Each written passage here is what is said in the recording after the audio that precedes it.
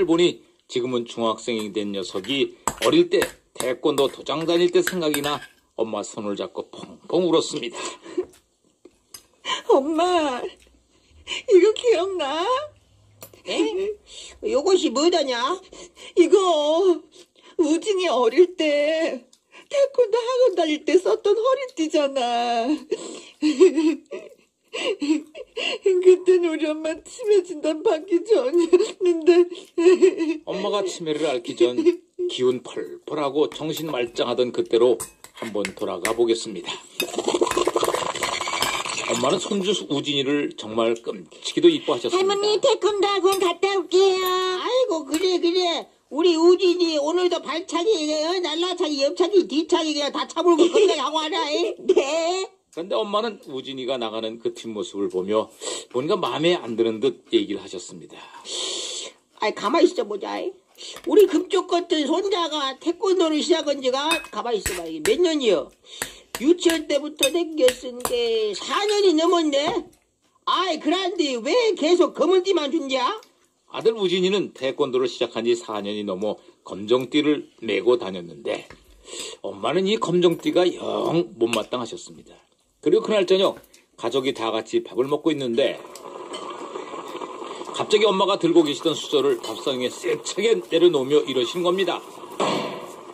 애미야 암시롱도 이건 아닌 것 같은데 어 뭐가? 태권도 학원 말이여 앞집 순식이는 빨간 놈으로 허리띠를 줌시렁이래 어째서 장차 대통령이 될 우리 우진이만 시커먼 놈으로 줬대요 어?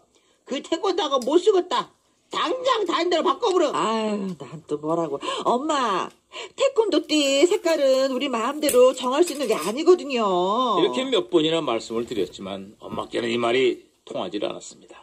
그 뒤로도 엄마는 손자가 검정띠를 메고 체육관에 가는 모습만 보면 아, 저것이 아닌데 암만 생각해도 저것이 아니여 어머니 마음. 하시며 도리지를 하시곤 했습니다.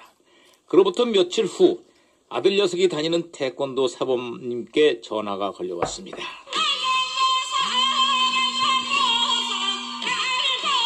여보세요? 아, 안녕하세요. 저 우진이 태권도 사범입니다. 아, 예, 사범님 웬일이세요? 혹시 우리 애가 뭐 잘못했나요? 아, 그런 게 아니고요. 아까 우전이 할머님이 다녀가셨는데 자꾸 그저 도복 띠를 바꿔달라고 떼를 쓰셔서 어머. 아, 일단은 알겠다고 말씀드리고 집으로 가시게 어머, 했거든요. 어머, 어머, 어머, 자, 죄송해요, 사범님. 아, 제가 말씀 잘 드릴게요. 사범님께 죄송하다고 말씀을 드리고 막 전화를 끊으니 밖에 나가셨던 엄마가 몹시 화가 나신 모습으로 현관문을 세차게 닫으시며 이러시는 겁니다.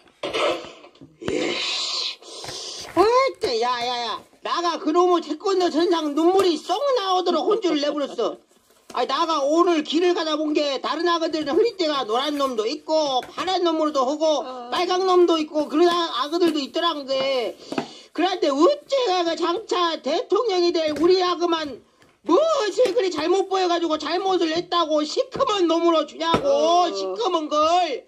그래서 내가 아주 혼쭐을 내버렸어. 그 선상이 나가 얼마나 무서운 사람인 줄 아직까지 모르고 있더만 저는 그런 게 아니라고 다시 말씀을 드렸는데 몇 번이나 얘기를 했는데 거기까지 찾아간 게 부하도 나서 짜증을 팍 내버렸습니다. 아니, 엄마. 내가 도대체 몇 번을 얘기해야지 돼. 그리고 선생님을 왜 찾아갔는데. 아, 나 진짜 엄마 때문에 창피해서 못 살겠어. 뭐요? 그럼 네 시방 나가 잘못했단 거요? 그러게. 아이고 그려 그려 늙으면 어서 죽어야지 살아서 무엇 했을까 있을 데도 아, 없고 진짜 엄마. 너라고 구박덩이가 나는 오늘 어, 오늘 저녁부터 밥 안 먹고 그냥 내일 바로 뒤져불란다 엄마, 이게 진짜. 하시면서 당신 방으로 들어가 버리셨습니다. 이 광경을 지켜보던 초등학교 2학년 우리 아들 녀석이 할머니 방으로 쪼르르 따라 들어가더니 할머니, 화 푸세요. 음, 에, 태권도 선생님이요. 제가 착하다고 내일부터는 노란색 띠로 주신다고 하셨거든요. 할머니, 이제 됐죠, 그쵸? 그러니까 할머니 화 푸세요. 아따 근게 진작에 그랬으면 나도 이게 서로 이거 험한 걸 안 보고 좋았잖아 뭐니 뭐니 해도 노란 놈이 그게 제일이야 에? 네, 네, 맞아요, 할머니. 그런데 다음날 또 검정띠를 두르고 도장 가는 우진이를 본 엄마는 애비야 나 약 좀 쓰게 6천 원만 6천만 원 줘봐요. 어? 얼마를요? 6천? 어, 어디 아, 아프세요, 엄마? 그려 내 마음이 아프다. 싸게 싸게 줘보란께. 그리고 엄마는 급히 돈을 들고 밖으로 나가셨는데요. 잠시 후 환한 표정으로 들어오셨습니다. 그리고 얼마 지나지 않아 도장에 갔던 우진이도 돌아왔죠. 우진이 왔니? 엄마 나오나? 근데 너 허리띠가 왜 노란색이야? 아들 녀석의 허리에 샛노란 허리띠가 둘러져 있는 겁니다. 그걸 보신 친정엄마는 아따 이쁜 거. 아이고 그 세상이 귓구멍이 인제야 뚫렸는갑네. 우리 손주는 역시 노란색이 겁나게 잘 어울려야. 엄마 무슨 소리야 무슨 소리야 무슨 일 있었어? 뭐 뭐 뭐, 야? 아이 아까 애미가 그 준 돈 6천 원 어디다 쓴 줄 알아? 6천만 원이라면 또. 6천 원이 6천만 원 되는 거 걔들 가만히 있어봐 지금 계산할게. 그 놈으로다가 천 원은 음료수 한 병 사고 나머지 5천 원은 음료수 담은 봉지에 넣어갖고 태권도 선생님한테 주고 왔지 선생님한테? 아 진짜 엄마 왜 그래? 아 왜 그러기는 봐라 벌써 약발이 바로 먹히잖아 역시 뭐니 뭐니 뭐니 해도 money가 최고란 게 하시며 당신의 행동에 몹시 흐뭇해 하셨어요. 어 행복하시고 가세요 다음날 사범님께서 아들 편에 5천 원을 돌려 보내셨더라고요. 아휴, 저는 어찌나 민망하던지.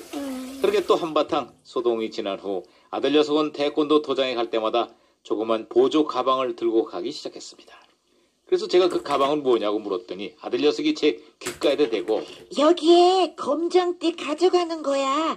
할머니가 노란띠 메고 가는 걸 좋아하시니까 검정띠 가지고 가서 바꿔 메고